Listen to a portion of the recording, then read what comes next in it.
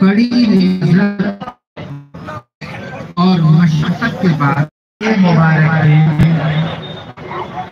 हमें और आप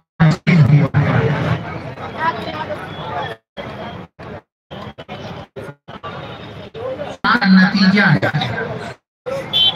लेजर बिल्डिंग उनतीस सेक्टर के सामने है। ये हो चुका है। हो चुका है भैया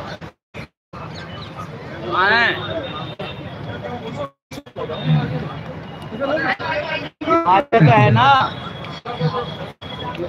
चलो हो गया जिसे जो काम करना है बंदा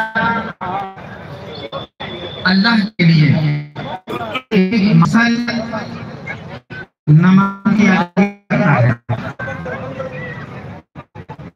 उससे गुजर कर कर तो अभी नमाज़ के अंदर ना आया क्या? उसका जो रिज़ल्ट निकलता है, उसका जो नतीजा आता है, उस नतीजे का नाम ईद उल फित्र है। आप हजरात को मेरी जानिब से नहीं है। ये ईद उल फित्र आप हजरात को यहाँ के मुंतजमीन की तरफ़ नहीं है बल्कि ये ईद उल फित्र